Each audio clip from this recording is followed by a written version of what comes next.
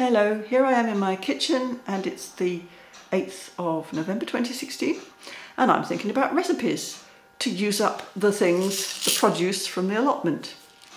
We put a lot of energy into growing climbing peas. We grew four kinds. The plants didn't do excellently well because they got mildewy and uh, they were too crowded basically. But this is our sum total of our pea harvest, apart from the few that we ate fresh. And I'm looking for recipes for dried peas and you just don't see them. I read that the medieval monks used peas as a staple. In fact, probably generally the peasants in medieval times used peas a lot. And I gather they just boiled them up and made a pottage with them with whatever vegetables they had to hand, which makes sense. The other kind of vegetable I have, which I want to use, is the squash. So I'm thinking I could roast the squash in like boat-shaped pieces like that and stuff it with some kind of pea mush. Cook the peas, cook them, um, maybe add some spices. Apparently the medieval people used cloves a lot. Well, I expect cloves were common.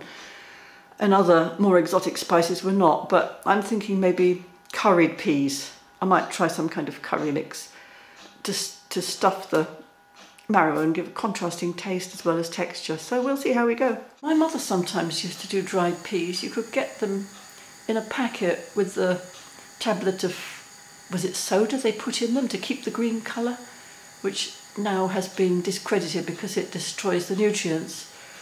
But they were one kind of pea, they weren't like these. These peas are, I'm boiling them up already, you can't see them.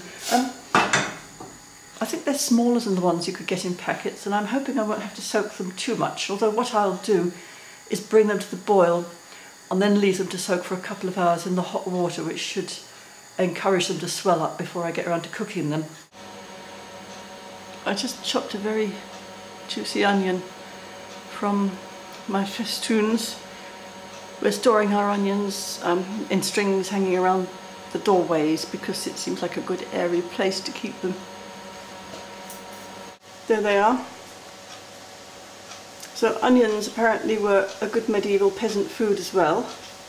So I'm frying onions to go in my pea curry and my peas are simmering away. They're eatable now, they're still a bit crunchy so I'm going to cook them a bit longer. The medieval recipe I saw online said boil them till they burst. So Ah, that's an indication they're cooked, I guess. And my squash is going in the oven. There's so many pieces here. I don't know how we'll eat them all. I'm going to have to make more pumpkin pie, obviously. And I'm going to give roast squash seeds another go. Squash slash pumpkin. This time I'm not going to cook them in syrup but in oil and maybe cook them a bit longer and see if they can come out crispy enough to eat without getting cardboard in the mouth. So I've mixed my peas in with my onion. Sadly, I was on the internet and I forgot the peas and they boiled dry, but I think I just caught them before they started to burn. But there's no liquid with them. So what I'm going to do is I'm going to add some tap water and some tomato paste and salt and see what that does for the flavour.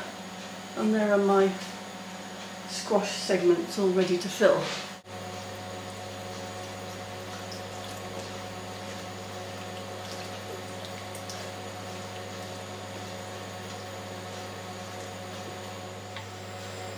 There it is all mixed in.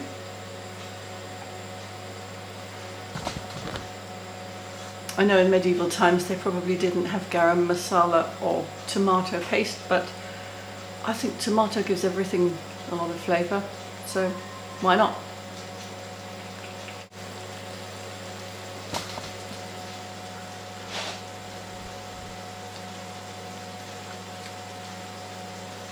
Yeah, very nice. And by the way, here are the pumpkin seeds, stroke squash seeds. They've been well roasted. It looks nice and crisp. They're crunchy.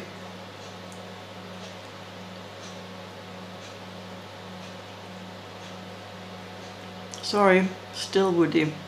So, a spoon peas onto the squash boat.